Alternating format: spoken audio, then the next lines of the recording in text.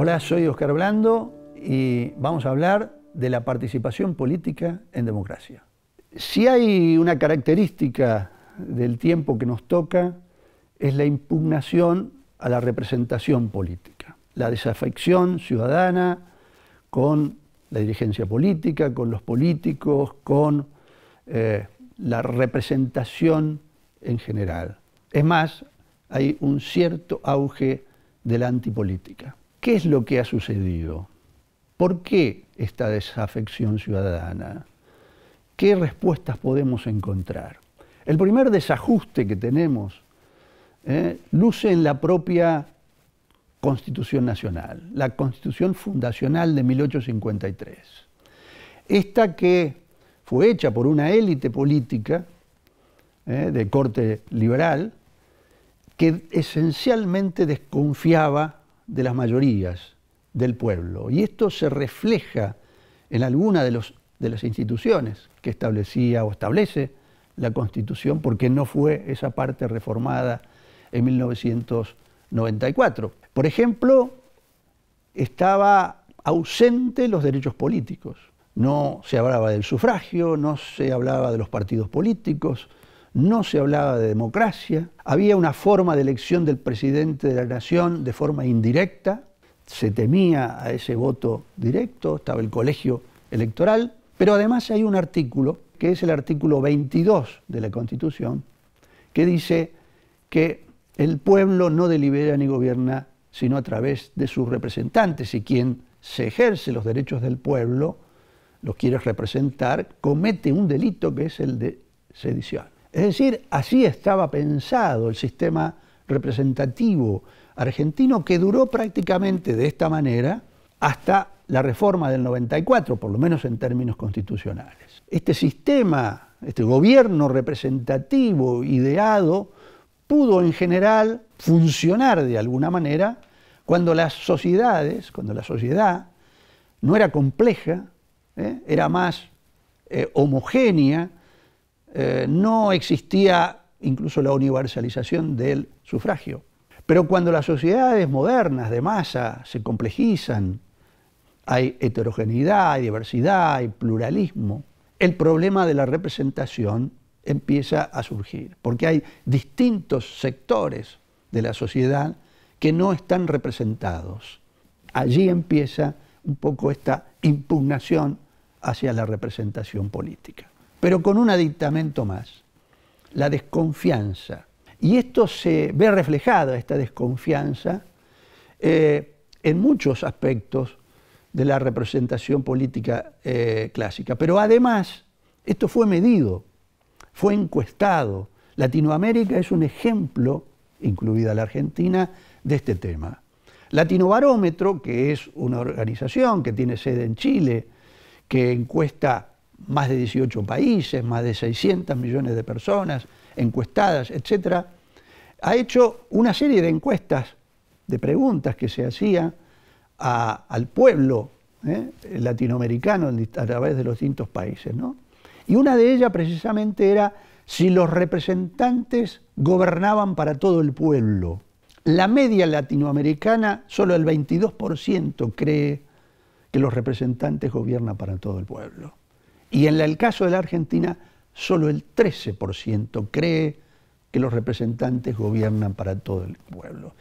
Y si se pregunta sobre la confianza o desconfianza de las instituciones de la democracia, Vemos en esta tabla ¿eh?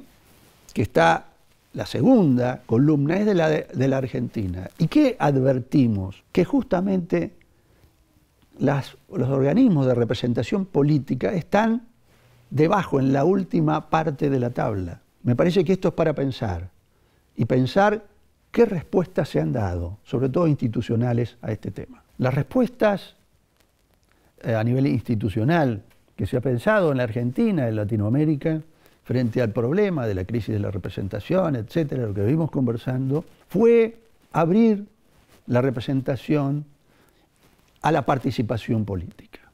Es decir, se pensó que la representación era un piso mínimo y que la participación política era un ideal alcanzable.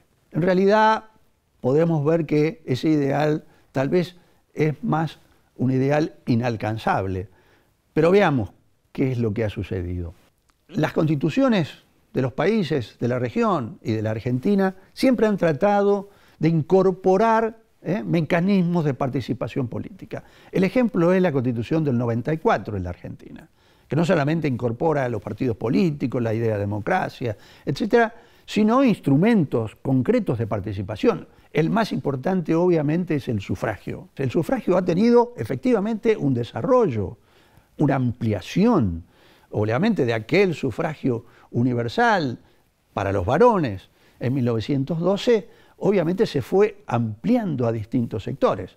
El más emblemático, el más importante es la lucha feminista que logró la participación política. Obviamente en el 47 empiezan a, votar eh, las mujeres, pero en 1991 el primer país del mundo que incorpora las cuotas de género, lo que se llamó eh, eh, las cuotas de género o cupo y finalmente, a partir del 2017, la paridad a nivel nacional y en la absoluta mayoría de las provincias, pero también hay ampliación hacia el voto de los jóvenes a partir de los 16 años. Las personas que están privadas de su libertad y no condenadas a partir del fallo Mignoni de hace mucho tiempo, que pueden votar en las cárceles, incluso para el control de las elecciones, el acompañamiento cívico que es reconocido en, la Argentina para que organizaciones no gubernamentales, nacionales y extranjeras controlen eh, los, comicios. Y a partir de ahí se dieron, obviamente, otras formas de participación que están incorporadas en constituciones y en las legislaciones en la región y en la Argentina, como la consulta popular y la iniciativa eh, popular. Fíjense, no solamente está a nivel de la Constitución Nacional, sino que todas las constituciones provinciales, salvo Mendoza y la de Santa Fe, que no han sido reformadas y que son del siglo pasado, han incorporado la consulta popular. La mayoría de las, de las constituciones provinciales han incorporado la iniciativa popular y algunas, 11 de ellas, la revocatoria eh, popular. Más allá de otras instituciones de participación que se han incorporado, que son muy importantes, como las audiencias públicas, eh, que la utiliza hasta la Corte eh, Suprema y otros organismos, el presupuesto participativo, que es un sello de, Rosario, que también lo utiliza la Universidad Nacional de Rosario, que vota, por otra parte, con boleta única y con paridad de género. Ahora bien, esta participación es real, es utilizada. ¿Qué dificultades tiene? El tema de la participación a veces parece un ideal inalcanzable, porque está en los instrumentos, está en las leyes, está en la Constitución, pero no se utilizan o se impiden la utilización. Fíjense, a nivel nacional no ha habido en casi 30 años, desde la reforma constitucional del 94 hasta acá, ninguna consulta popular. También este es un fenómeno de nuestra época, que además del voto, la gente participa a través de la protesta. La protesta es la salida que hay ante eh, la obturación de los canales eh, institucionales. Por lo tanto, lo que nos queda que ver es cuáles son los desafíos que nos presenta tanto la representación política y sobre todo la participación. Diría que el mayor desafío de la participación está en la inclusión política. Porque el tema de la distancia entre gobernantes y gobernados, representantes y representados, lo que hace es favorecer el monopolio de la discusión pública por parte de determinados sectores que son los más aventajados en la sociedad y son los que imponen la agenda pública. Esto supone que hay grupos subrepresentados, hay grupos invisibilizados que no tienen la, posibilidad de participar ni le interesan demasiado muchos de los temas que proponen la agenda pública oficial, dominante. Por lo tanto, el desafío de la inclusión es fundamental. Yo plantearía algunos aspectos que tienden a posibilitar esta inclusión. Una es la decisión política. Obviamente, acá se necesita de los gobernantes, de los partidos, de los partidos nacionales, de los fuertes, un compromiso con la participación política y que no quede solamente como un aspecto legal, ideal y no real. Pero también desde abajo es necesaria por parte de la sociedad civil la participación. El ejemplo de las luchas feministas es paradigmático en este sentido. Es posible avanzar con una agenda propia, con garantizar derechos, es posible. En segundo término, diría que es necesario sacar, desactivar los obstáculos a la participación, requisitos que, se, tienen en cuenta, que se exigen, que realmente que burocratizan la, participación. Hay que desburocratizar la democracia. En tercer lugar, yo diría que otro desafío es el tema del acceso a la información pública y la libertad de expresión, especialmente pensando en estos sectores subrepresentados, invisibilizados. La información pública es fundamental.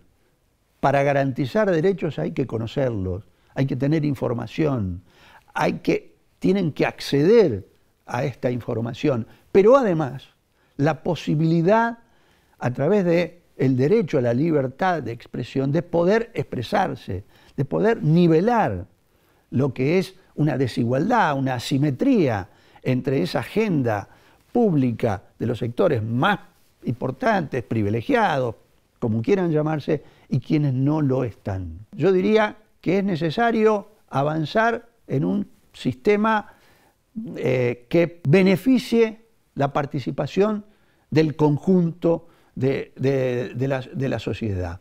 Bien, en este encuentro, en definitiva, hemos tratado de abordar el tema de la representación política, de la crisis de la representación, de esa desafección eh, eh, ciudadana, cuáles fueron sus problemas y cuáles fueron las respuestas institucionales, que generalmente estuvieron dedicadas a ampliar los márgenes de participación política, a través de instrumentos que están en la Constitución, a través de instrumentos de los instrumentos, convenciones de derechos humanos que están en la Constitución Nacional y que tienen rango constitucional. Y finalmente hemos planteado los desafíos a la participación, los desafíos que eh, avancen ampliando los márgenes de participación. Hoy, además del voto, está la protesta, porque no hay canales de, de participación. Entonces hemos planteado cuáles son los ejes para los cuales es necesario avanzar, esencialmente en la inclusión política y en la democratización de la democracia.